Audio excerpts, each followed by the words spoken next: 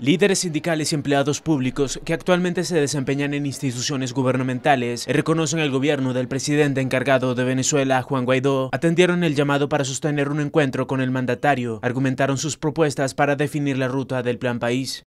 Hay un paro técnico prácticamente desde hace tiempo en la Cancillería porque no tenemos insumos, no tenemos material, eh, nos quitaron el contrato colectivo, nos vienen cercionando todos los, eh, los derechos a todos los trabajadores bueno, y evidentemente estamos en paro, un paro técnico, pues. tenemos años en un paro técnico. Yo voté por Chávez y voté por el gobierno de Nicolás Maduro.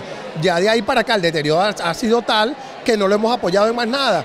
Al nosotros decir abiertamente que no lo apoyamos, bueno, ya hemos sido blancos de, persecución, de acoso. No toda la administración pública ha apoyado todas estas cosas pero es su puesto de trabajo, fue su manera que, decidieron de, trabajar, de profesionalizarse y evidentemente tienen que estar callados hasta su momento, pero la gran mayoría apoya. Los trabajadores ya perdimos el miedo y toda la población venezolana está perdiendo el miedo.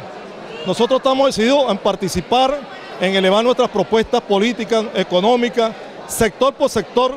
Queremos entregarle al presidente Guaidó nuestra propuesta. De más del 80% rechazamos este, este gobierno. Este gobierno ha sido un fracaso especialmente para la clase trabajadora. Un gobierno embaucador, que quiso utilizar los sindicatos a su merced para ponerlo de rodillas, simplemente subordinado al partido de gobierno. José Gregorio Ríos, empleado de un colegio público, hizo un llamado a sus colegas del gremio a perder el miedo y unirse a la lucha por un mejor país.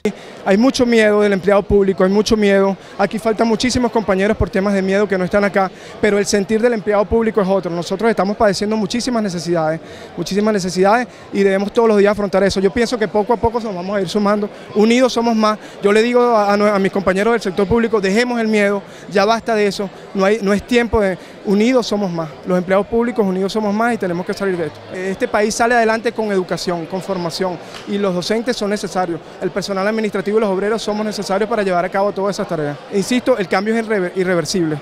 Entre las propuestas presentadas a los empleados públicos por Guaidó está la de una ley de garantías para proteger a todos los trabajadores estatales que sean víctimas de la persecución política. La reunión forma parte de su plan para continuar buscando apoyo interno y a la vez avanzar en la agenda para poner fin al gobierno de Nicolás Maduro.